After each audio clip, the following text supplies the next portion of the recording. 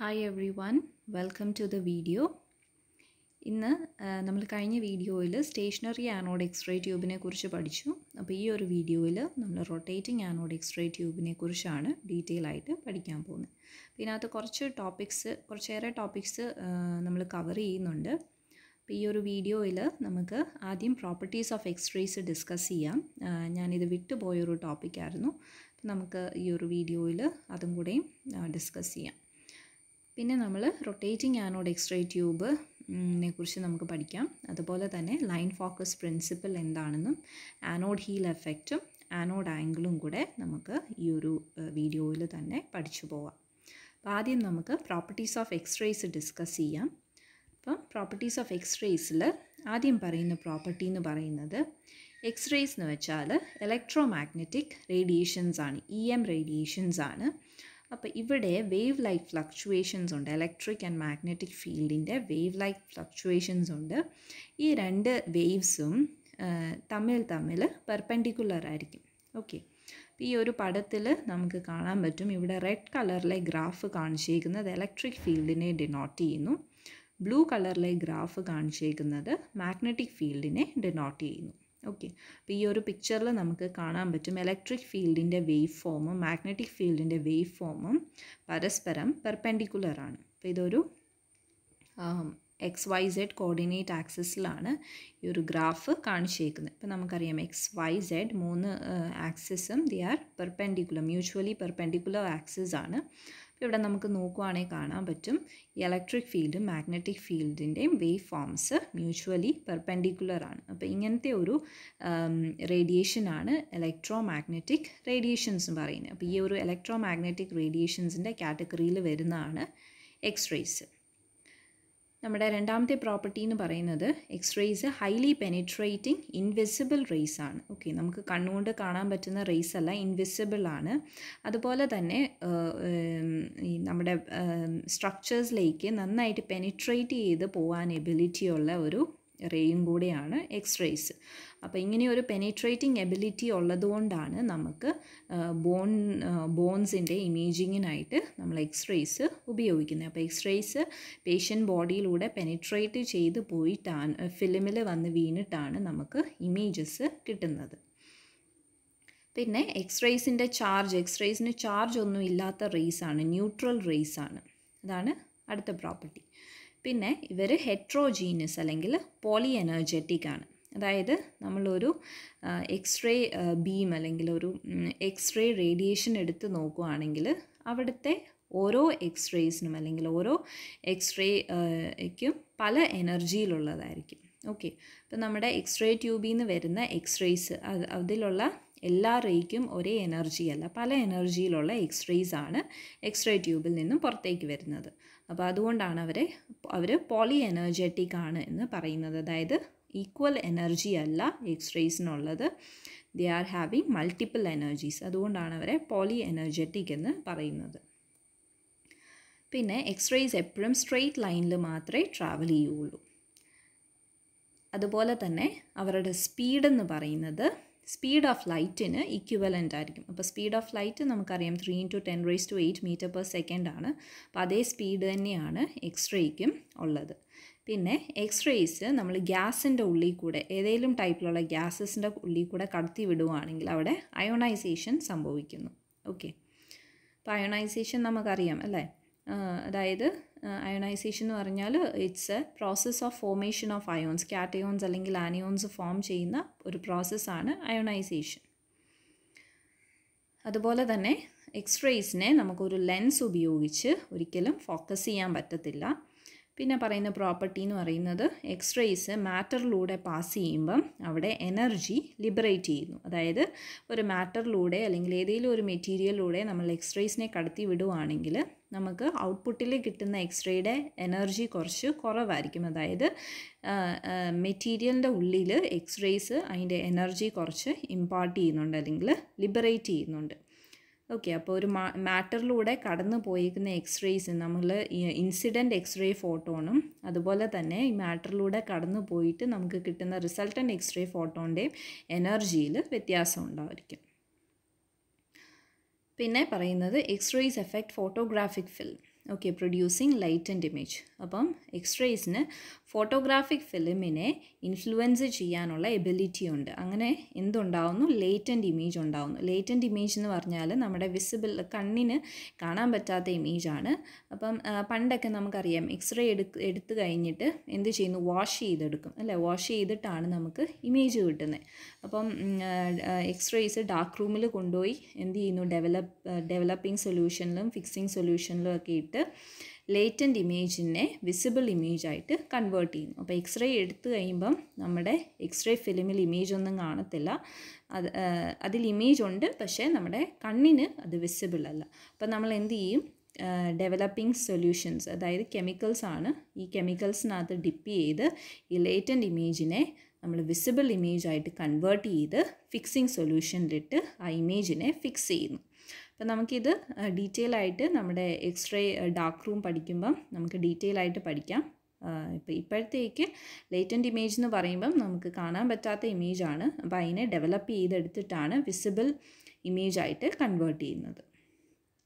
അടുത്ത പ്രോപ്പർട്ടി എന്ന് പറയുന്നത് എക്സ്റേസ് ചില ക്രിസ്റ്റൽസിൽ ഫ്ലൂറസെൻസ് ഉണ്ടാക്കുന്നു. പിന്നെ പറയുന്ന പ്രോപ്പർട്ടിയാണ് എക്സ്റേസ് ഏത് സബ്സ്റ്റൻസിലൂടെ പാസ് ചെയ്താലും അവിടെ കെമിക്കൽ ചേഞ്ചസ് ഉണ്ടാക്കുന്നുണ്ട്. ഓക്കെ അപ്പം നമ്മൾ നേരത്തെ തന്നെ പറഞ്ഞായിരുന്നു അയോണൈസേഷൻ ഉണ്ടാവുന്നു എനർജി ലിബറേഷൻ ഉണ്ടാവുന്നു. അപ്പോൾ അതാണ് അവിടെ കെമിക്കൽ ചേഞ്ചസ് ഉണ്ടാകുന്നു പിന്നെ നമ്മുടെ അവസാനത്തെ പ്രോപ്പർട്ടിയാണ് എക്സ്റേസ് പ്രൊഡ്യൂസ് ബയോളജിക്കൽ ചേഞ്ചസ് അതായത് നമ്മുടെ എക്സ്റേസ് എന്ന് പറയുന്നത്. ഇപ്പം നമ്മളൊരു പേഷ്യന്റെ എക്സ്റേ എടുക്കുകയാണെങ്കിലും കുറച്ച് എമൗണ്ട് ഓഫ് എക്സ്റേസ് പേഷ്യന്റെ ബോഡിയിൽ അബ്സോർബ് ആകാനുള്ള സാധ്യതയുണ്ട്. അപ്പം അങ്ങനെ ബോഡിയിൽ അബ്സോർബ് ആവുന്ന റേഡിയേഷൻ നമ്മുടെ ബോഡിയിൽ ചില ബയോളജിക്കൽ ചേഞ്ചസ് ഉണ്ടാക്കുന്നുണ്ട്. അപ്പോൾ എക്സ്റേസിന് ജീവജാലങ്ങളിൽ ബയോളജിക്കൽ ചേഞ്ചസ് ഉണ്ടാക്കാനുള്ള ഒരു എബിലിറ്റി ഉള്ള റേ ആണ് എക്സ്റേ എന്ന് പറയുന്നത്.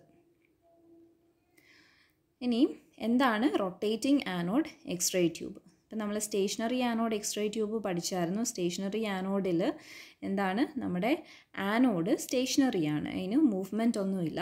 റൊട്ടേറ്റിംഗ് ആനോഡ് എക്സ്റേ ട്യൂബ് എന്ന് പറയുമ്പം ഇവിടെ നമ്മൾ ആനോഡ് ഡിസ്ക് ആണ് ഉപയോഗിക്കുന്നത്. ഈ ആനോഡ് ഡിസ്ക് ആനോഡ് സ്റ്റെമ്മിന്റെ ഹെൽപ്പ് കൊണ്ട് റോട്ടറുമായിട്ട് കണക്ട് ചെയ്തേക്കുന്നു. അപ്പോൾ ഈ റോട്ടർ കറങ്ങുന്ന അനുസരിച്ച് നമ്മുടെ ആനോഡ് ഡിസ്കും റൊട്ടേറ്റ് ചെയ്യുന്നു. അപ്പോൾ എന്തുകൊണ്ടാണ് ഒരു റൊട്ടേറ്റിംഗ് ആനോഡ് ഉപയോഗിക്കാനുള്ള കാരണം എന്ന് ചോദിച്ചു കഴിഞ്ഞാൽ സ്റ്റേഷനറി ആനോഡിനെ വെച്ച് കമ്പയർ ചെയ്യുമ്പം റൊട്ടേറ്റിംഗ് ആനോഡിൽ ഇലക്ട്രോൺസിന് വന്ന് ബൊമ്പാർഡ് ചെയ്യാനുള്ള സർഫസ് ഏരിയ കൂടുതലാണ്. അപ്പം റൊട്ടേറ്റിംഗ് ആനോഡ് എക്സ്റേ ട്യൂബിന് കുറേ കൂടെയും കപ്പാസിറ്റി കൂടുതലായിരിക്കും. കാരണം കൂടുതൽ എമൗണ്ട് ഓഫ് ഇലക്ട്രോൺസിന് ബൊമ്പാർഡ് ചെയ്യാനുള്ള ഏരിയ ഉണ്ട്. അപ്പോൾ അതുകൊണ്ടാണ് നമ്മൾ റൊട്ടേറ്റിംഗ് ആനോഡ് എക്സ്റേ ട്യൂബ് ഉപയോഗിക്കുന്നത്. ഇതാണ് നമ്മുടെ റൊട്ടേറ്റിംഗ് ആനോഡ് എക്സ്റേ ട്യൂബിന്റെ ആനോഡ് അസംബ്ലിയുടെ ഇന്നർ വ്യൂ അല്ലെങ്കിൽ അകത്തുള്ള പാർട്സ് ആണ്. അപ്പോൾ ഇവിടെ നമുക്ക് റോട്ടർ കാണാം. ഈ റോട്ടർ കറങ്ങുന്ന അനുസരിച്ചാണ് നമ്മുടെ ആനോഡ് ഡിസ്ക് റൊട്ടേറ്റ് ചെയ്യുന്നത്. അപ്പോൾ ആനോഡ് ഡിസ്കിന് ഒരു സോസർ ഷേപ്പാണ് ഉള്ളത്. അപ്പോൾ എങ്ങനെയാണ് ഈ റൊട്ടേറ്റിംഗ് ആനോഡ് ഉപയോഗിച്ച് എക്സ്റേ ജനറേറ്റ് ചെയ്യുന്നത് അതുപോലെ തന്നെ റൊട്ടേറ്റിംഗ് ആനോഡ് എക്സ്റേ ട്യൂബിന്റെ പാർട്സ് എന്തൊക്കെയാണെന്ന് നമുക്കൊന്ന് ഡീറ്റെയിൽ ആയിട്ട് പഠിക്കാം. നമുക്ക് റൊട്ടേറ്റിംഗ് ആനോഡിന്റെ പാർട്സ് ഒന്ന് ഡീറ്റെയിൽ ആയിട്ട് പഠിക്കാം. നമ്മൾ സ്റ്റേഷനറി ആനോഡിൽ പഠിച്ചതുപോലെ തന്നെ അല്ലെങ്കിൽ സ്റ്റേഷനറി ആനോഡ് എക്സ്റേ ട്യൂബിൽ പഠിച്ചതുപോലെ തന്നെ കാഥോഡുണ്ട് ആനോഡുണ്ട് അപ്പോൾ ഇതാണ് ഇവിടുത്തെ കാഥോഡ് അസംബ്ലി എന്ന് പറയുന്നത്. അപ്പം നമ്മൾ സ്റ്റേഷനറി ആനോഡ് എക്സ്റേ ട്യൂബിൽ പഠിച്ചതുപോലെ തന്നെ ഇവിടെയും നമ്മളൊരു ടങ്സ്റ്റൻ ഫിലമെന്റ് ആണ് ഉപയോഗിക്കുന്നത്. ഓക്കെ. അപ്പോൾ ഈ ടങ്സ്റ്റൻ ഫിലമെന്റിനെ ഒരു ലോങ് ആക്സിസ് ഒരു ആക്സിസ് ഉപയോഗിച്ച് നമ്മുടെ റൊട്ടേറ്റിംഗ് ആനോഡിന്റെ പെരിഫറൽ ഏരിയയിലേക്ക് ഫോക്കസ് ചെയ്യുന്ന ഒരു രീതിയിലാണ് നമ്മൾ ഈ ടങ്സ്റ്റൻ ഫിലമെന്റിനെ അറേഞ്ച് ചെയ്ത് വെച്ചേക്കുന്നത്. അതുപോലെ തന്നെ ഡ്യുവൽ ഫിലമെൻസ് ഉള്ള എക്സ്റേ ട്യൂബ്സ് ആണ് കൂടുതലും റൊട്ടേറ്റിംഗ് ആനോഡിൽ നമുക്ക് ഡ്യുവൽ ഫിലമെന്റ്സ് കാണാൻ പറ്റും. ഒന്ന് സ്മോൾ ഫോക്കസിന് വേണ്ടിയിട്ട് ഉപയോഗിക്കുന്ന ഫിലമെന്റ് ഉണ്ട്. അതുപോലെ തന്നെ ലാർജ് ഫോക്കസിന് വേണ്ടി ഉപയോഗിക്കുന്ന ഫിലമെന്റ്സ് ഉണ്ട്. ഓക്കെ അപ്പം സ്മോൾ ഫോക്കസ് എന്ന് പറയുമ്പം സ്മോൾ ഏരിയ അല്ലെങ്കിൽ സ്മോൾ ഏരിയ എക്സ്പോഷർ വേണ്ടെടുത്ത് നമുക്ക് സ്മോൾ ഫോക്കസിലുള്ള ഫിലമെന്റ് ഉപയോഗിക്കാം. അതുപോലെ തന്നെ ഫോർ ലാർജർ ഏരിയ നമുക്ക് ലാർജ് ഫോക്കസിലുള്ള ഫിലമെന്റ് യൂസ് ചെയ്യാം. ഓക്കെ അപ്പോൾ ഇത്രയാണ് കാഥോഡ് അസംബ്ലി ഓക്കെ അപ്പോൾ ഇവിടെ എന്താണ്? ടങ്സ്റ്റൺ ഫിലമെന്റ് തന്നെയാണ് നമ്മൾ ഉപയോഗിക്കുന്നത് അപ്പോൾ ഈ ടങ്സ്റ്റൺ ഫിലമെന്റ് ഒരു ലോങ് ആക്സിസ് ഉപയോഗിച്ച് സസ്പെൻഡ് ചെയ്ത് നിർത്തിയേക്കുവാണ്. അപ്പോൾ എന്തിനാണെന്ന് ചോദിച്ചു കഴിഞ്ഞാൽ നമ്മുടെ ആനോഡിന്റെ പെരിഫറൽ ഏരിയയിലേക്ക് ഇലക്ട്രോൺസ് ബൊമ്പാർഡ് ചെയ്യാൻ വേണ്ടി ആ ഒരു രീതിയിലാണ് ഇവിടെ നമ്മൾ ഫിലമെന്റിനെ അറേഞ്ച് ചെയ്യുന്നത് അപ്പം ഡുവൽ ഫിലമെന്റ്സ് ഉള്ള എക്സ്ട്രേ ട്യൂബ്സ് ഉണ്ട്. ഡുവൽ ഫിലമെന്റ്സ് എന്ന് പറയുമ്പോൾ ഒരു ഫിലമെന്റ് എന്ന് പറയുന്നത് ചെറിയ ഫിലമെന്റ് ആയിരിക്കും. അത് സ്മോൾ ഫോക്കസിന് വേണ്ടിയിട്ട് ഉപയോഗിക്കുന്നു. മറ്റേത് കുറേ കൂടെ ലാർജർ ഫിലമെന്റ് ആണ് and it is used for large focus so ഇതാണ് നമ്മുടെ അത്രയാണ് കാഥോഡ് അസംബ്ലി ഇനി കം ടു ആനോഡ് അസംബ്ലി ആനോഡിലെ മെയിൻ പാർട്സ് ഇപ്പോൾ മൂന്ന് പാർട്സാണ് ആനോഡ് അസംബ്ലിയിൽ വരുന്നത്. ഒന്ന് ആനോഡ് ഡിസ്ക് പിന്നെ വരുന്നതാണ് റോട്ടർ. ഈ റോട്ടറിനെയും ആനോഡ് ഡിസ്കിനെയും കണക്ട് ചെയ്തുകൊണ്ട് ഉള്ള ഒരു പാർട്ടാണ് ആനോഡ് സ്റ്റെം. ഇതാണ് ആനോഡ് സ്റ്റെം. അപ്പോൾ ഈ ആനോഡ് സ്റ്റെം ഉപയോഗിച്ചിട്ടാണ് ആനോഡ് ഡിസ്കിനെ റോട്ടറുമായിട്ട് കണക്ട് ചെയ്യുന്നത്. ഈ റോട്ടറാണ് ആനോഡിനെ റൊട്ടേറ്റ് ചെയ്യാൻ ഹെൽപ്പ് ചെയ്യുന്നത്. അപ്പോൾ റോട്ടർ റൊട്ടേറ്റ് ചെയ്യുന്ന അനുസരിച്ചാണ് ആനോഡ് ഡിസ്ക് റൊട്ടേറ്റ് ചെയ്യുന്നത്. ഓക്കെ. അപ്പം നമ്മൾ ഈ റൊട്ടേറ്റിംഗ് ആനോഡ് ഉപയോഗിക്കാനുള്ള ഒരു കാരണം എന്ന് പറയുന്നത് സ്റ്റേഷനറി ആനോഡ് നമ്മൾ നോക്കുവാണെങ്കിൽ അവിടെ ഒരു ചെറിയ ടങ്സ്റ്റൺ ടാർഗറ്റാണ് നമുക്ക് കാണാൻ പറ്റുന്നത് ഇവിടെ എന്ന് പറയുമ്പം റൊട്ടേറ്റിംഗ് ആനോഡ് എക്സ്റേ ട്യൂബിന് ഒരു സോസർ സോസറിന്റെ ഒരു ഷേപ്പിലാണ് റൊട്ടേറ്റിംഗ് ആനോഡ് എക്സ്റേ ട്യൂബിന്റെ ഡിസ്ക് ഇരിക്കുന്നത് അപ്പോൾ ഇതിന്റെ പെരിഫറൽ ഏരിയയിലാണ് ഇലക്ട്രോൺസ് ബോംബാർഡ് ചെയ്യുന്നത്. അപ്പം സ്റ്റേഷനറി ആനോഡിനെക്കാട്ടിലും കുറേ കൂടെയും സർഫസ് ഏരിയ കൂടുതലാണ് റൊട്ടേറ്റിംഗ് ആനോഡ്. അപ്പോൾ റൊട്ടേറ്റിംഗ് ആനോഡ് ഉപയോഗിക്കാനുള്ള ഒരു മെയിൻ കാരണം എന്ന് പറഞ്ഞാൽ ഇവിടെ ഇലക്ട്രോൺ ബോംബാർഡ്മെന്റിനുള്ള സർഫസ് ഏരിയ കൂടുതലാണ്. സ്റ്റേഷനറി ആനോഡ് എക്സ്റേ ട്യൂബിനെ വെച്ച് കമ്പയർ ചെയ്യുമ്പോൾ അപ്പോൾ ഇതാണ് റോട്ടർ ഈ സ്റ്റെമ്മെ സോറി ഈ ഡിസ്കിനെയും റോട്ടറിനെയും കണക്ട് ചെയ്യുന്നതാണ് ആനോഡ് സ്റ്റെം ഇനി ഈ ഡിസ്ക് ഇപ്പം നമുക്ക് ആദ്യം ആനോഡ് ഡിസ്കിനെ കുറിച്ച് പഠിക്കാം. ആനോഡ് ഡിസ്ക് എന്ന് പറയുന്നത് ടങ്സ്റ്റൺ കൊണ്ട് ആണ് നിർമ്മിച്ചേക്കുന്നത് അപ്പം ടങ്സ്റ്റൺ അല്ലാതെ നമുക്ക് ടങ്സ്റ്റന്റെയും റീനിയത്തിന്റെയും ഒരു അലോയിയും നമുക്ക് ഉപയോഗിക്കാൻ സാധിക്കും. അപ്പം അലോയ് എന്ന് പറയുന്നത് നയന്റി പെർസെന്റ് ടങ്സ്റ്റനും ടെൻ പെർസെന്റ് റീനിയോവാണ്. അപ്പോൾ എന്തിനാണ് ഈ ഒരു അലോയ് ഉപയോഗിക്കുന്നതെന്ന് ചോദിച്ചു കഴിഞ്ഞാൽ ഞാൻ നേരത്തെ സ്റ്റേഷനറി ആനോഡിൽ പറഞ്ഞ പോലെ തന്നെ നമ്മുടെ ആനോ ഡിസ്കിന്റെ ലൈഫ് കൂട്ടാൻ വേണ്ടിയിട്ടാണ്. അതായത് ഈ ഹീറ്റ് കാരണം എക്സസീവ് എമൗണ്ട് ഓഫ് ഹീറ്റ് കാരണം ഇതിന്റെ ലൈഫ് കുറയാനുള്ള സാധ്യതയുണ്ട്. അതുകൊണ്ടാണ് നമ്മൾ അലോയ് ഫോമിൽ ഉപയോഗിക്കുന്നത്. പിന്നെ നമ്മുടെ ആനോഡ് സ്റ്റെം ഇതാണ് ആനോഡ് സ്റ്റെം ആനോഡ് സ്റ്റെം നിർമ്മിച്ചിരിക്കുന്നത് മോളിബ്ഡനം എന്ന് പറയുന്ന ഒരു മെറ്റീരിയൽ കൊണ്ടാണ്. അപ്പം മോളിബ്ഡനം ഉപയോഗിക്കാനുള്ള ഒരു റീസൺ എന്ന് പറയുന്നത് മോളിബ്ഡനത്തിന്റെ അതായത് അതിന് ഹൈ മെൽറ്റിംഗ് പോയിന്റ് ഉണ്ട്. About two thousand six hundred twenty degree Celsius ആണ് ഇതിന്റെ മെൽറ്റിംഗ് പോയിന്റ് എന്ന് പറയുന്നത്. അതുപോലെ തന്നെ ഇതിന്റെ ഹീറ്റ് കണ്ടക്ഷൻ ലോ ആണ്. അപ്പോൾ ലോ ഹീറ്റ് കണ്ടക്ഷൻ ഉള്ള ഒരു മെറ്റീരിയൽ ഉപയോഗിക്കുമ്പം ആനോഡ് ഡിസ്കിൽ ജനറേറ്റ് ചെയ്യുന്ന ഹീറ്റ് റോട്ടറിലേക്ക് ട്രാൻസ്ഫർ ചെയ്യത്തില്ല. അപ്പം ഈ ആനോ ഡിസ്കിൽ ജനറേറ്റ് ചെയ്യുന്ന ഹീറ്റ് റോട്ടറിലേക്ക് ട്രാൻസ്ഫർ ആകാതിരിക്കാൻ വേണ്ടിയിട്ടാണ് നമ്മൾ പുവർ ഹീറ്റ് കണ്ടക്ഷനിലുള്ള മോളിബ്ഡനം പോലുള്ള മെറ്റീരിയൽ ഉപയോഗിക്കുന്നത്. ഇനി കം ടു റോട്ടർ റോട്ടർ എന്ന് പറയുന്നത് it is made up of copper bars അതായത് ഒരു സിലിണ്ട്രിക്കൽ അയൺ കോറിന് ചുറ്റും കോപ്പർ ബാർസ് അറേഞ്ച് ചെയ്തിട്ടാണ് റോട്ടർ നിർമ്മിച്ചേക്കുന്നത്. അപ്പോൾ ഈ റോട്ടറിന് ചുറ്റും ഇലക്ട്രോ മാഗ്നറ്റ്സ് ഉണ്ട്. അതിന് പറയുന്ന പേരാണ് സ്റ്റേറ്റർ ഓക്കെ അപ്പോൾ നമുക്ക് റോട്ടറിന്റെ ഒരു ഡീറ്റെയിൽഡ് ആയിട്ടുള്ള ഒരു ഇമേജ് അല്ലെങ്കിൽ റോട്ടറിന്റെ ഇന്നർ സൈഡ് എങ്ങനെ ഇരിക്കുമെന്ന് നമുക്ക് നോക്കാം. ഇതാണ് നമ്മുടെ ആനോഡ് അസംബ്ലിയുടെ ഒരു ഇന്നർ വ്യൂ ആണ്. ഇതാണ് നമ്മുടെ ആനോഡ് ഡെസ്ക് ഇതാണ് ആനോഡ് സ്റ്റെമ്മ് ഇതാണ് റോട്ടർ. അപ്പോൾ റോട്ടറിന്റെ ഉള്ളിൽ ബിയറിങ്സ് ഉണ്ട്. ഈ റെഡ് സർക്കിൾസിൽ കാണിച്ചിരിക്കുന്നതാണ് ബിയറിങ്സ്. ഈ ബിയറിങ്സ് കറങ്ങുന്ന അനുസരിച്ചാണ് റോട്ടർ റൊട്ടേറ്റ് ചെയ്യുന്നത്. അപ്പോൾ ഇതാണ് റോട്ടറിന്റെ ഇന്നർ വ്യൂ ഇനിയും എങ്ങനെയാണ് ഈ റോട്ടർ അല്ലെങ്കിൽ ഈ റോട്ടർ എങ്ങനെയാണ് റൊട്ടേറ്റ് ചെയ്യുന്നത് എന്ന് ചോദിച്ചു കഴിഞ്ഞാൽ നമ്മുടെ റോട്ടറിന് സറൗണ്ട് ചെയ്തുകൊണ്ട് ഈ റോട്ടറിന് രണ്ട് സൈഡിലും ഗ്ലാസ് എൻവലപ്പിന്റെ പുറത്തായിട്ട് സ്റ്റേറ്റർ എന്ന് പറയുന്ന ഇലക്ട്രോ മാഗ്നറ്റ്സ് ഉണ്ട്. ഈ സ്റ്റേറ്ററും റോട്ടറും കൂടെ ചേർന്ന് ഒരു ഇൻഡക്ഷൻ മോട്ടറായിട്ട് ആക്ട് ചെയ്യുന്നു. ഓക്കെ. അപ്പം ആദ്യം എന്ത് ചെയ്യുന്നു? നമ്മുടെ സ്റ്റേറ്ററിലുള്ള കോയിൽസിനെ എനർജൈസ് ചെയ്യുന്നു. അപ്പം റോട്ടറിന്റെ രണ്ട് സൈഡ്സിൽ നമ്മുടെ ഗ്ലാസ് എൻവലപ്പിന്റെ പുറത്തായിട്ടാണ് സ്റ്റേറ്റർ കാണുന്നത്. അപ്പോൾ സ്റ്റേറ്റർ കോയിൽസിനെ ആദ്യം എനർജൈസ് ചെയ്യുന്നു. സ്റ്റേറ്റർ കോയിൽസിനെ എനർജൈസ് ചെയ്യുമ്പം റൊട്ടേറ്റിംഗ് മാഗ്നറ്റിക് ഫീൽഡ് ജനറേറ്റ് ചെയ്യുന്നു. റൊട്ടേറ്റിംഗ് മാഗ്നറ്റിക് ഫീൽഡ് നമ്മുടെ കോപ്പർ ബാർസിൽ കറണ്ട് ഇൻഡ്യൂസ് ചെയ്യുന്നു.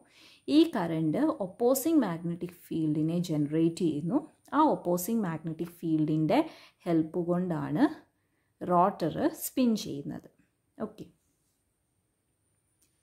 അപ്പം ഈ ഫ്ലോ ചാർട്ടിൽ കുറേ കൂടെയും ഡീറ്റെയിൽഡ് ആയിട്ട് നമുക്ക് പഠിക്കാം. റോട്ടറിന്റെ ഫങ്ഷൻ എങ്ങനെയാണെന്ന്. ഓക്കെ അപ്പോൾ റോട്ടറിന്റെ ഞാൻ പറഞ്ഞായിരുന്നു റോട്ടറിന്റെ രണ്ട് സൈഡ്സിലായിട്ട് ഗ്ലാസ് എൻവലപ്പിന്റെ പുറമേ എന്തുണ്ട്? സ്റ്റേറ്ററുണ്ട്. അപ്പോൾ സ്റ്റേറ്റർ എന്ന് പറയുന്ന ഒരു ഇലക്ട്രോ മാഗ്നറ്റ് ആണ്. ഈ സ്റ്റേറ്ററും റോട്ടറും കൂടെ ചേർന്ന് എന്തായിട്ട് ആക്ട് ചെയ്യുന്നു? ഇൻഡക്ഷൻ മോട്ടറായിട്ട് ആക്ട് ചെയ്യുന്നു. അപ്പോൾ എങ്ങനെയാണ് റോട്ടർ റൊട്ടേറ്റ് ചെയ്യുന്നതെന്ന് നമുക്ക് നോക്കാം.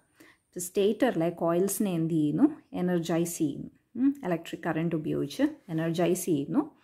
അങ്ങനെ ചെയ്യുമ്പോൾ അവിടെ ഒരു റൊട്ടേറ്റിംഗ് മാഗ്നറ്റിക് ഫീൽഡ് ജനറേറ്റ് ചെയ്യുന്നു. ഓക്കെ നമ്മൾ മാഗ്നറ്റിക് എഫക്റ്റ് ഓഫ് കറണ്ട് പഠിച്ചിട്ടുണ്ട് അല്ലേ? അതായത് ഇലക്ട്രിക് ഫീൽഡ് ഉള്ളിടത്ത് എന്തുണ്ട്? മാഗ്നറ്റിക് ഫീൽഡും ഉണ്ട്. അപ്പം കറണ്ട് ഉപയോഗിച്ച് സ്റ്റേറ്റർ കോയിൽസിനെ എനർജൈസ് ചെയ്യുമ്പം അവിടെ ഒരു റൊട്ടേറ്റിംഗ് മാഗ്നറ്റിക് ഫീൽഡ് ജനറേറ്റ് ചെയ്യുന്നു. ഈ റൊട്ടേറ്റിംഗ് മാഗ്നറ്റിക് ഫീൽഡ് കാരണം വീണ്ടും എന്താ എന്ത് ചെയ്യുന്നു? കോപ്പർ ബാൾസ് അതായത് റോട്ടറിൽ ഞാൻ പറഞ്ഞായിരുന്നു കോപ്പർ ബാൾസ് ഒരു സിലിണ്ട്രിക്കൽ അയൺ കോറിന് സറൗണ്ട് ചെയ്തിട്ടാണ് റോട്ടർ നിർമ്മിച്ചേക്കുന്നത്. ഓക്കെ അപ്പോൾ റോട്ടറിൽ എന്തുണ്ട് കോപ്പർ ബാൾസ് ഉണ്ട്.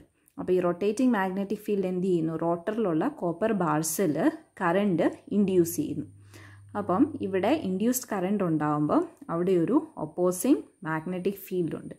ഈ ഒപ്പോസിങ് മാഗ്നറ്റിക് ഫീൽഡാണ് റോട്ടറിനെ റൊട്ടേറ്റ് ചെയ്യാൻ സഹായിക്കുന്നത്. അപ്പോൾ റോട്ടറിന്റെ റൊട്ടേഷണൽ സ്പീഡ് എന്ന് പറയുന്നത് three thousand to nine thousand rotations per minute ആണ്.